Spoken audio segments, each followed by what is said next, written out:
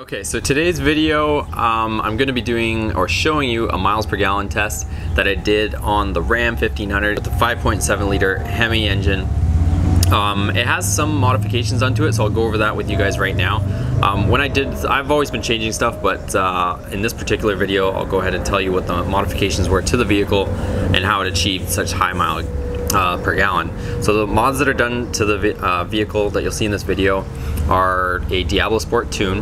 Um, it's a Diablo Sport i2 tuner.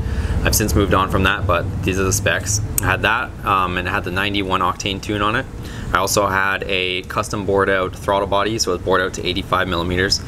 Um, some of the stuff that I'm just giving you guys um, uh, info on, it won't necessarily change gas mileage, but um, the factors that I do think change gas mileage are going to be the K&N um, cold air intake and also I've deleted the mechanical fan, the one that's uh, operated by a clutch on the front of the engine, and um, I installed a V6 electric fan so there's less uh, parasitic drag on the engine at all times. Um, as far as exhaust goes, it's pretty much stock uh, catback exhaust or even catalytic converters are still on it, but it does have uh, JBA shorty headers and those are uh, wrapped with heat wrap as well which helps keep uh, keep uh, heat and energy inside the pipe so that air can flow faster is the science behind it at least anyways. You guys can uh, research that part for yourself but that's supposed to be the theory of it behind it. Um, that's pretty much it that would uh, give it better gas mileage. As far as wheels I find that wheels make a big difference. Um, for this particular test I have uh, stock factory 17 inch wheels on the truck um, with factory size tires. I think they're like 275 tires, the Goodyears that come stock on a factory 17. So that's what's done to it. And also important to note is it is stock ride height and it is two wheel drive and it has an 8-speed transmission um, which helps keep the RPM lower. It also has a 392 gear ratio so that would be hurting uh, fuel economy is the 392 gears but um, it's doing pretty good. Um, like I said, this test was done driving like an absolute old person as slow as you could possibly go on the freeway without people flipping you off and whatnot but um, let's get into the video. I try to be as thorough as I could on the test. Any questions, ask me below, but let's get into the video first, then we'll go from there. So, I'm at 7-Eleven right now. We're gonna go ahead and put some gas in this baby. I'm driving to uh, Texas uh, Motorplex right now. We're going to uh, streetcar takeover, so I'm gonna do this on the way there, and uh, we'll see what happens. Okay, so as full as you could possibly get it and we have $11 and 3.43 gallons in there. Um, they do only have 93 here, so I put 93 in. Um, shouldn't uh, make too much of a difference, I hope, on gas mileage, but 93 is in the tank. Let's see what happens on this round. So we're fully fueled again. We're gonna go ahead and reset this. So we reset our trip. I'm going to reset this one as well. So everything's reset. Let's go ahead and try it again. Alright guys, or girls, this is the kind of mileage that I was hoping to see. So we got locked in at 60, which is the speed limit right now. Oh my god, that glare for you guys though. Hopefully you guys can see this. Basically, it's cruising along. We got locked in at 60 miles per hour. Sorry about the glare, but basically you can see it's doing a lot better. Our average is 20 miles per gallon right now. There, hopefully you guys can see for a sec without the sun. And it's clipping along anywhere from 25 miles per gallon upwards on a flat plane. So let's see what this uh, this hopefully does. We got about an hour stretch. Hopefully I can uh, get a good indication for you guys.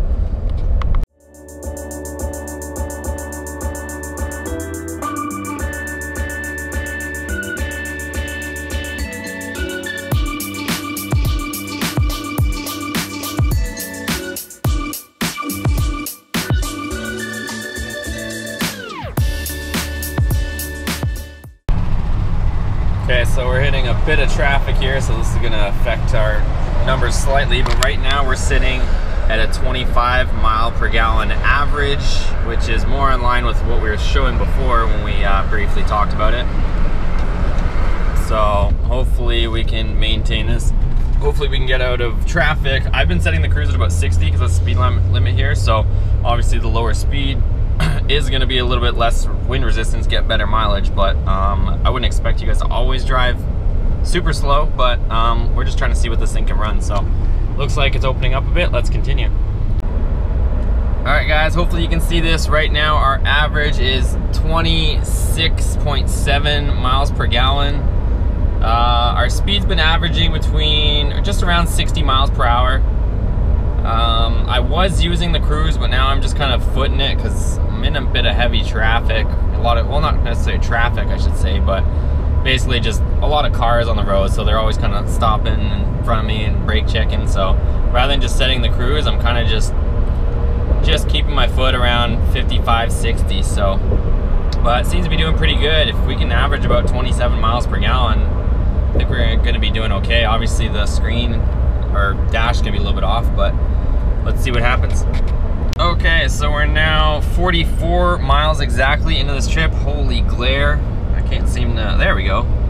Can't seem to not get glare on the screen, but we're averaging 27, 27.1 miles per gallon now sitting at around 60 still. You can see just holding it at 60 on basically a flat plane seems to net me about 30, but obviously we're not driving in a perfect world where it's completely flat there's ups and downs and I had to get on the highway from the gas station, so all that's taken a factor into the calculation, but um, yeah, basically if we can average around 27, we'll see what the hand calculation does, but it's pretty good. So again, 44.6 miles into this thing, I got about, I think 10 more miles till I get where I'm trying to go right now, and uh, we'll see what we got. All right, so we have arrived at the gas station, and let's see how much this dash lies. So, let me put it in park here for a second. We are at 27.2 miles per gallon. Let me turn it off, because it's wasting away as it sits here running. So, we averaged about 27.2. I can get it back to where we want. So 27.2, it changed to 27.1 just here. Here's our trip information. So we went 57.4 miles. Our average miles per gallon was 27.1. Average mile per hour was 52. So of course I was having to drive from the gas station onto the freeway and vice versa, drive from the freeway into the gas station, so that compensates for a little bit of lower speed. Um, let's go ahead, throw some pump gas back in here and see what we're at. So we're gonna go ahead, put the highest grades, 93 at this one again.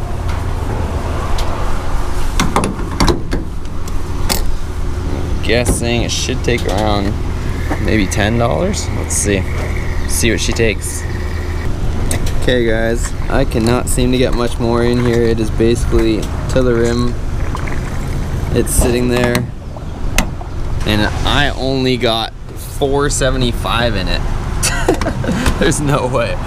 475, I got 1.584 gallons.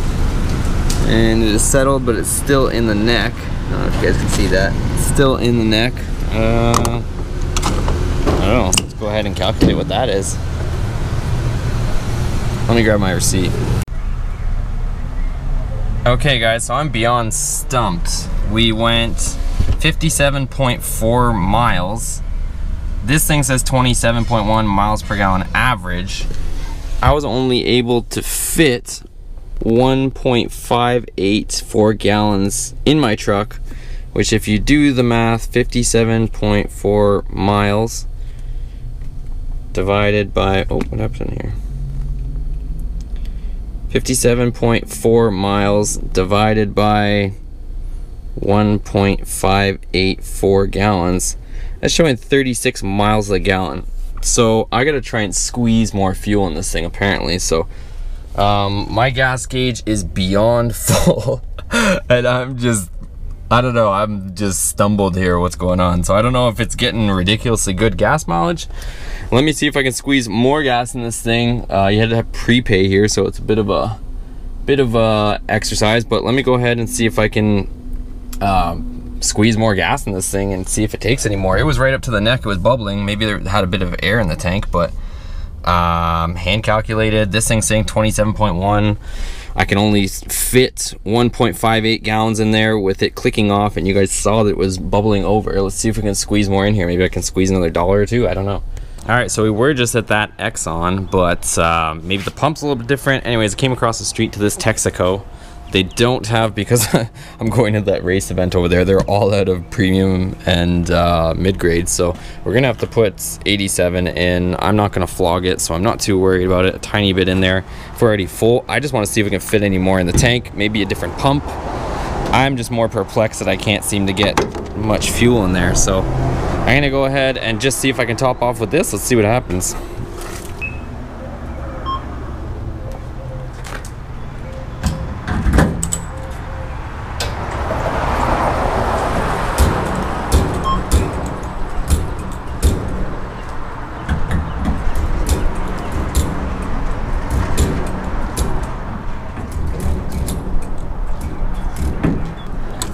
Alright guys, so I am not lying, I cannot fit anything else in here. It is just clicking off like crazy. Splashing up. It's literally full to the rim here.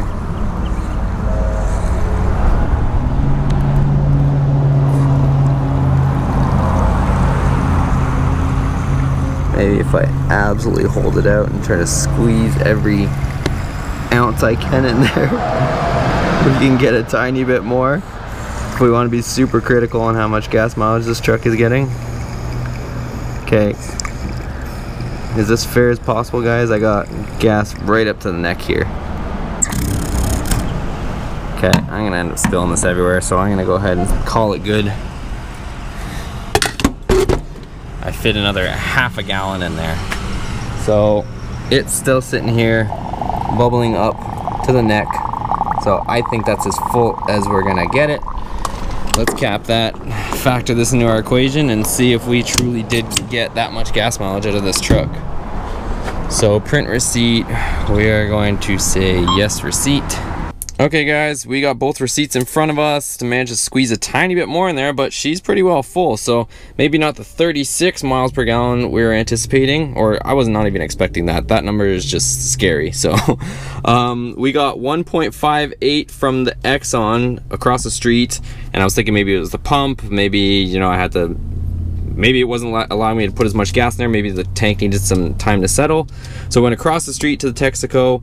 We fit in another half gallon. So let's add those two together. Again, 57.5 miles we went. This thing's saying about 27 miles per gallon. Okay, so both together, the 1.54 and the 0.540 um, altogether ends up being 2.124 gallons. So let's go ahead and take our 57.5 on the dash, 57.5, and divide that by 2.124. And we get exactly 27.07 miles per gallon, guys. So this thing just got 27 miles per gallon on that tank. And no games, no gimmicks, like you guys said, or so you guys saw when I tried filling it the first time to the rim. Uh, basically, I can only put almost five bucks in there. And I had to, just to verify, I went across the street with a different pump just see if I could top it off and topping it off a little bit more after it kind of settled or you know the air got out of the tank we were able to basically get the 27 miles per gallon to the tank. So we're full. Okay guys, so, so that's the test. No BS, not trying to play games with the numbers. Um, I honestly, just kind of giving you guys some background. I honestly couldn't care less if it got this gas mileage because where I'm taking the truck and the direction we're headed with the build on the truck, we're throwing fuel economy and gas mileage out the window with the supercharger and bigger wheels and all that good stuff. So I just did it for fun, just to see out of curiosity what it could get if uh, if we tried to focus on fuel economy with this particular vehicle. And um, any of the mods that I mentioned at the beginning of the video, you guys can find um, find those modifications on this channel. I've taken that truck from bone stock to what you see it in this video and even further at this point um, as far as modifications, improvements, all that stuff, you'll find it on this channel. So make sure to check out those videos as well on here. And uh, yeah, it ended up getting about 27 miles per gallon. Uh, you saw that I even went to two gas stations to make sure there wasn't any issues with filling it up from one pump to the other, that maybe one was clicking off sooner, but it ended up clocking at 27 miles per gallon and uh, hand calculated and on the on the dash and also the tire correction was correct for those wheels for the 17 inch wheels so no games there Um, but I was pretty surprised that it could get that if you wanted it to. And like I said, it, the, way I had to drive to get that miles per gallon is you'd have to lose speed. You know, if there was any sort of incline, you'd have to lose speed and try to take advantage of gaining speed downhills and really be conscious of trying to trying to pedal it to um, you know not put your foot in it too much or not get the downshift. So it was work to to get that gas mileage, but it is uh, it is possible if uh, if it's something that you want to do. But if you like this video, guys, give it a thumbs up for me. Make sure you're subscribed. We're also on Instagram, same spelling as this channel, at Boosted Motorsports. But uh, we're also on Facebook too, if you guys want to follow along or join our group chat there.